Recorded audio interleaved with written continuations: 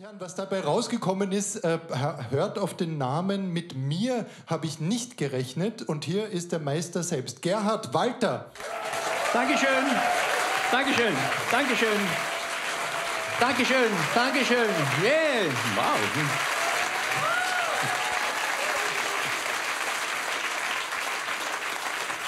Das, Dankeschön, sehr, sehr, sehr nett von Ihnen.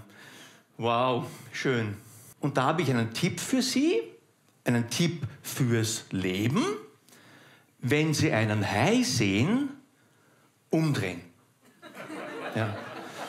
Also da kann Ihnen nichts passieren, da sind Sie safe, aber wenn Sie mal im Meer schwimmen und es kommt ein Hai auf Sie zu, umdrehen. Also nicht sich, das bringt nichts. Ne? Also der Hai beißt in den Rücken, den Hai. Und auch nicht so, weil das bringt auch nichts. Der Hai schwimmt eine Runde und hat sie wieder auf den Rücken.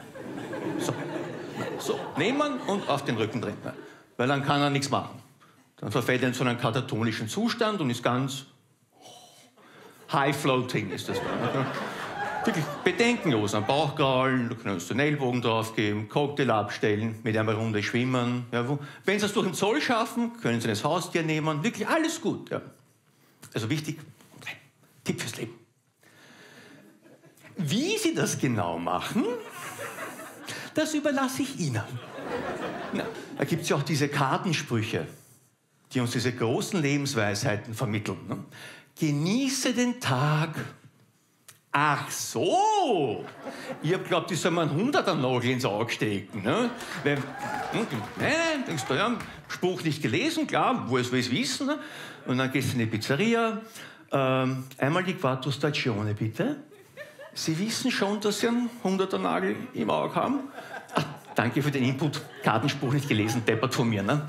Deswegen gibt es ja auch diese Motivationstrainer, die dich an, ja, anfeuern. Also, come on, you can do it. Come on, I am the best. Come on, you can do it. I believe in you. Come on, I am the best. You're the... Meistens sind es Amis. Ja, was aber eh gescheit ist, hätte ich gesagt. Ja. Weil ein Wiener Motivationstrainer... Also bitte nicht missverstehen, ich lebe gern hier. Es ist wirklich eine wunderschöne Stadt und sie hat viele Vorzüge. Aber für Motivation ist sie nicht bekannt. Ne?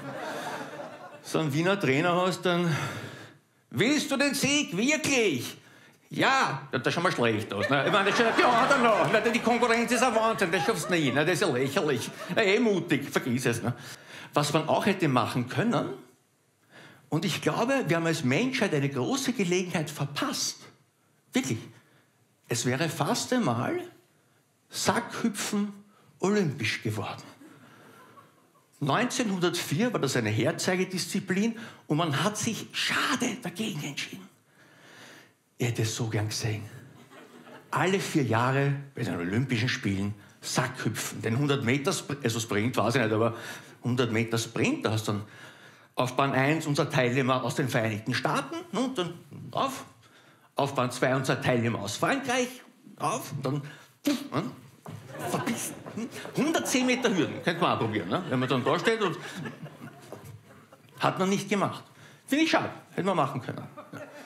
Aber eine Welt, in der die Helden in einem Sack einem Ziel entgegenhüpfen, war man nicht unsympathisch, glaube ich. Das war's von mir. Dankeschön.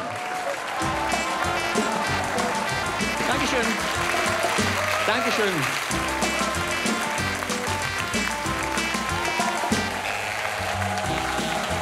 Gerhard Walter.